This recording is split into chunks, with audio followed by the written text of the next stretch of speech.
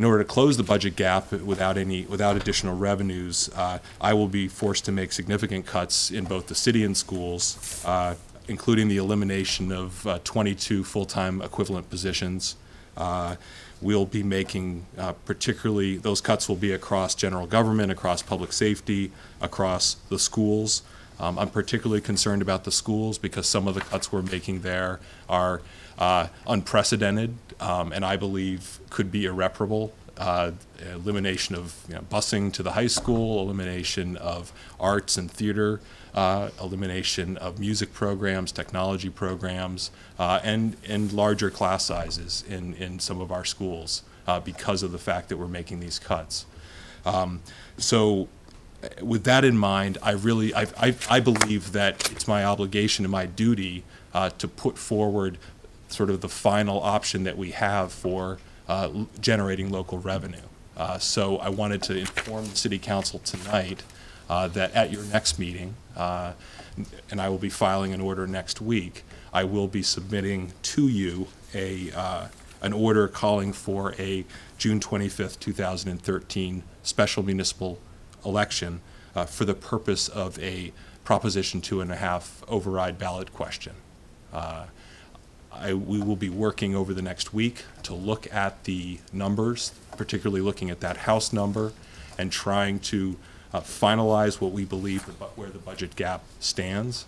Uh, and we will be um, trying to put together a plan to show how increased local revenues generated through a Proposition Two and a Half override uh, could be uh, structured uh, to provide us a sustainable path over the next three to five years uh, to be able to meet the needs of our city budget and the services and the schools and education that we need to provide. So I wanted to inform you of that tonight. I'm not obviously putting forward a formal proposal, uh, but I wanted to sort of put you on notice. And, you know, my office has been inundated with calls and with emails about this question, about whether, uh, and and frankly, people asking me to give them this option uh, to be able to vote on it. So it's obviously not a step I uh, thought I would be making when I uh, raised my right hand a year ago. Uh, It's not something I take lightly, uh, something I relish, uh, but I do believe it is my duty, given the cuts that we're facing, to pre- present this option to the city council and ultimately to the voters of Northampton. So that is my report, and I'm happy to answer any questions that you have. Obviously, I'll be providing more, more information for your next meeting, um, but, uh, but I wanted to make that public statement tonight uh, and uh, let the council know where I'm headed uh, in this particular issue. Counselor? Yes, Mayor. Um, You are saying at our next city council meeting, you will be bringing bringing in a proposal for us city councilors for a Proposition Two and a Half to place it on the ballot. That is And correct. that Proposition Two and a Half will occur the month of June of this 2013. That is correct. There is a, um, as you all know, there is a special Senate election scheduled for Tuesday, June 25th, uh, in, in the Commonwealth. So we are holding an election on that day. Uh, We're required to hold an election on that day. Uh, So this will be an order to um, hold a, a local municipal election, a special municipal election, uh, for the purpose of this one question that we'll put before the voters about raising additional revenues. So that is a special election. What is the cost for that? Well, the cost will be, uh, we will be, and this is the, the legislature uh, uh, did enact uh, special legislation uh, knowing that they were holding these two state elections on, A- one on April 30th and one on June 25th. They did hold, they did pass legislation allowing cities and towns to move local elections to one of those dates. So towns that were holding uh, their normal April municipal elections have been moving them to April 30th uh, to consolidate them, to not create confusion or dilution of, of the electorate, uh, having elections a week apart. Um, So we would be moving it to the 25th. We would be responsible for the costs of printing the local ballot. Um, Obviously, the state is printing the, uh, the state ballot. We would have to print the local ballot. And we would obviously, well, we, are providing most of the manpower anyway for the state election. We don't really, as you've heard the city clerk describe, we don't really get reimbursed much for that.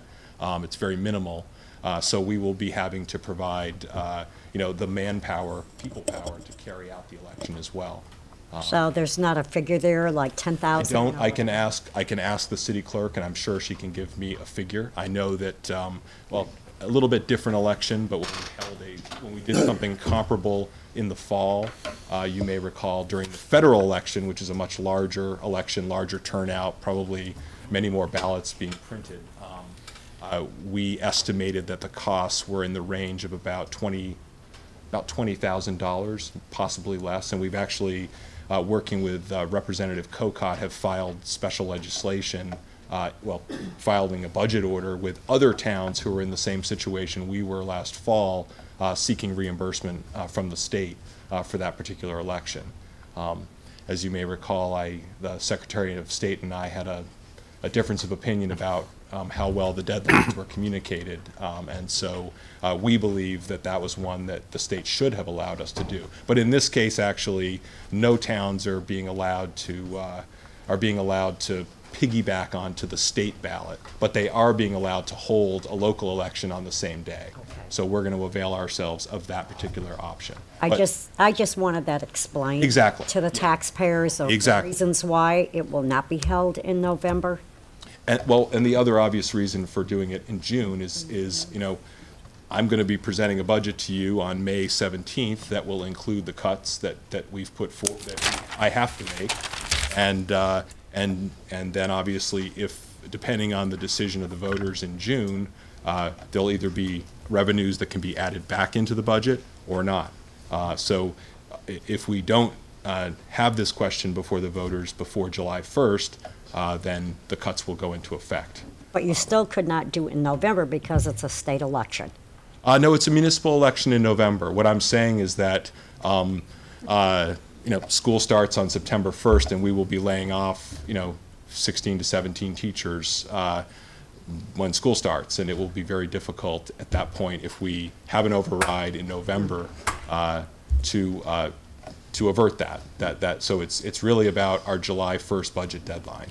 Uh, thank you. And as in past overrides, we've held them in June because of the uh, because of the budget cycle. Thank you. Yes. Counselor Spector. In terms of the process that needs to take place to put this on the ballot, what would be the latest date that you could put the, over, that you could come to us and we could still get it on the ballot by that date? I have In talked June. with the city clerk about this. Um, I did, I did uh, discuss this with the city clerk, uh, because obviously she's the one and her staff who would have to carry out this special election. And um, uh, we discussed late May as a possibility, um, uh, uh, but uh, the thought of holding one election a month. No, for it's not the election. You're, It's 35 days. 35. 35 days. so I was asking, you're planning on coming to the next meeting? That is correct. And there will But- be but plenty, you- of- there will be plenty of time. But if you didn't come to the next meeting, but came to the meeting after that or one other, there would still be time to put it on? Uh, barely, because it's uh, a 35-day window, uh, and so we would be needing to do it. The other factor is, I, I also wanted to give the city clerk time to prepare, to find uh, the, the, to, to do the work that she would need to do if the city council chooses to, to take this I was just action. at, two of us will not be at the next meeting. Okay? I know of two, and I just want to make sure that, Well, certainly, uh, That- certainly, you know, that's a decision the council can make. I mean, I can tell you that statutorily, there is time if it, if it extended further. I mean, right now, the, the, the April 18th and then May 4th would be your next meeting. I would have to get out a calendar and count it, but it's a 35 days uh, okay. requirement. But that's the statutory requirement. I was more concerned about the other issues around the city clerk. and Mayor, it may still be fine to bring it next time. I was just raising that to understand it. Yes. Maureen. Any other questions? Counselor Tacy? And I know you really don't know just exactly how much the number would be. Well, uh, obviously, uh, and this was actually a question that someone asked me last night about an override uh, at the Florence Community Center, that, you know, well, you know, what happens if you do an override for, you know, $1.4 million? And the question was, well, then we fill the gap for this year, but then next year, uh, you know, we've all seen the math, we've seen the way the, you know, revenues versus expenditures, uh, that curve, uh, we'll be right back where we are in terms of, uh, you know, in terms of the, that equation. So my plan is, and I've been working with the finance director on doing some financial modeling, uh, looking at um, growth in, in various budget areas and trying to project a, a reasonable growth pattern over the next three to five years, and then trying to create a revenue scenario that we could uh, raise revenue to be able to sustain that over that period. Um, And that would include, potentially, we've discussed even uh, uh, you know, creating sort of an override, uh, uh, sorry, I'm, uh, capital, sort of an override stabilization fund, if you will, where we could actually show the taxpayers that where this money would be held as, as a way to then use it um, over time. Do do you have, a- in your head, do you have a formula for distribution? What, how much would go where? Half to the school, half to the general Uh, fund? Those are the kinds of things I want to really work, I, I need to continue to work out and be clear about. Obviously, I mean, it's no, we, we all know that the schools represent, you know, fifty to sixty percent of our budget in terms of the, uh, in terms of what we, uh, spend, and they have the largest number of employees. So my, you know, I, I think that you can assume, easily assume that, that a percentage of that would go to the schools. A, a Yeah. large percentage of it would go to the schools. Yeah. But I also am concerned about public safety and about uh, DPW and general government. And, uh, and so that's what we'll be trying to work on. Okay, thank you. Yep. Counselor Labarge? Yes. Um, Counselor Spector, I heard you say something about two that would not be available in the next two weeks. So if we hold this back, who is to say who else is not going to be here the That's true. following two No, weeks? I was just raising that, it's fine. So I don't have a problem about it coming here in our next two weeks. I think the mayor needs to know where we're standing with it, and we need to move on. And again, I can do the, I can, I can do some additional, uh, I can have some additional discussions with the city clerk about the actual timing. And obviously, uh, you know, we have the option of a special meeting if, if it were needed. With that, that's, that's happened before. It's fine, So I was just raising that. if there was a, if there was an issue about quorum or something like that. Or, and just as a process question too, I'm assuming it's a two, two readings? It is a council order that would require two readings. So- Um, uh, So, uh, uh, you know, obviously, your rules uh, stipulate that, and so I would leave that to the discretion of the council. Counselor Freeman Davis? Thank you. Uh, I, uh, I think it's important to come to the, to the, the voters with this uh, proposal. And I think uh, during budget hearings, it will be very important to, uh, to see the discrep, the, the possible uh, filling that an override will, uh, will accomplish or may accomplish. Uh, That's, I expect it is going to be a rather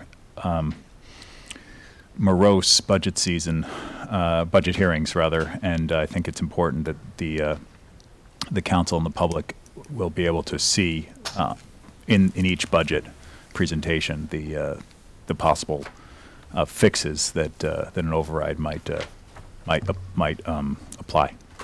And, and, and obviously, as we, as we put together, I know the school department um, has already done this in terms of their budget process, uh, uh, have been putting together kind of an outline of these are the areas that they will be cutting. These are the programs, these are the, the I mean, because they have to actually make very specific cuts, and in their case, many, because many of them are personnel cuts, they have to do notifications to people, um, and, and it affects scheduling. So we'll be presenting that as sort of a, as part of our, of the budget that I, overall budget that I present, um, uh, sort of a list of the items, the services. And again, one of the things I've stressed at all of these budget meetings is, you know, the gap is not about, we're not talking about adding new services or adding new people or adding new programs. The gap is between providing the same level of service from FY thirteen to FY fourteen.